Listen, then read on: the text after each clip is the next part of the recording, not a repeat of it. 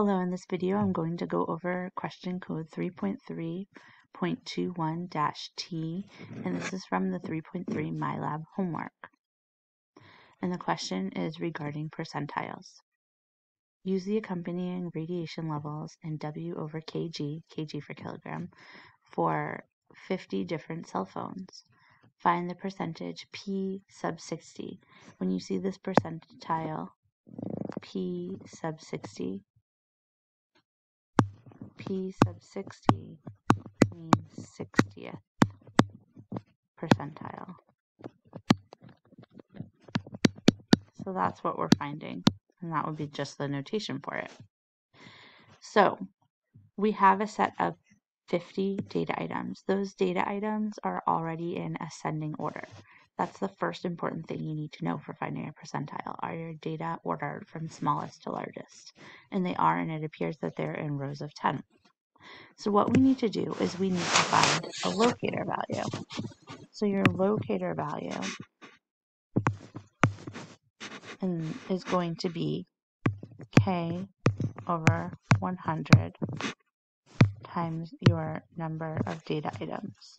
And what k is, it's what percentile. So you can do, for our case, we're finding locator value of 60%. So we'll say L sub k here. And that'll be 60 over 100 times 50 data items. You could also just say 0.6 times 50. You'll get the same number. So when we calculate that, we'll get the number 30. Since we get a whole number, we're going to find where the 30th item is and the next item, which is the 31st item, and we're going to average them. So these are in groups of 10. So I'll go 10, 20, 30. This will be the, oops, 30th item. A little too big here. And then we'll have the 31st item next to it. So you can see I've circled the 30th item 1.19 and the 31st item in the table 1.19 also. So these happen to be the same number, but generally what we're going to do is find the 30th and the 31st items in the table and then we're going to average them. So we have 1.19 plus 1.19 over 2 is 1.19. You didn't actually have to perform this math, but I'm showing you in case you had a problem that had two different numbers. So 1.19 is the answer. P sub 60 or the 60th percentile equals 1.19. And remember, we followed this process of find the locator value and the next value, which was the 31st value in this case, and average or find the mean of those because we had a whole number right here. What happens if we don't have a whole number? I'm going to do another problem that is beyond what the question is asking, but instead of having a whole number for the locator value, it's going to have a number that has a decimal after it. So we can go through what the process is for something like that. So once again, this is beyond what the question was asking. We already found the 60th percentile. It was 1.19. You'll type that in and your question would be done online. But what if I asked you to find the 27th percentile? So what is the 27th percentile? Our first step, once again, is to find that locator value. So the locator value for the 27th percentile would be 27 over 100 times, will we still have 50 data items? And when we find that locator value, we're going to get 13.5. Well, the locator, it's telling you a location, so which item in our list. We don't have a list um, item in a 13.5th spot because we only have discrete numbers for spots. 1, 2, 3, 4, 5. We can only use counting numbers when we're talking about the placement of each value in the list.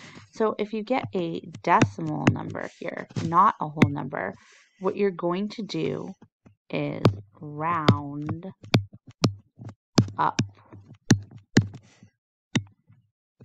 So I had 13.5, so I'm going to round that to 14.